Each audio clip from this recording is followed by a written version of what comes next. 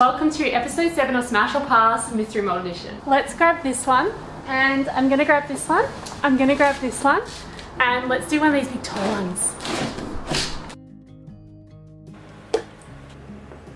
I really don't like that handle. Cut it off. It's nice, it's different, it's unusual. It's a smash.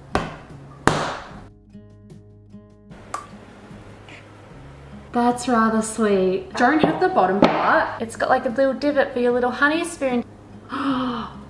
it's a pass. This must be a matching for the toothpick crate. I already have salt and pepper shakers that are way cooler than this. Smash or pass? It's a smash.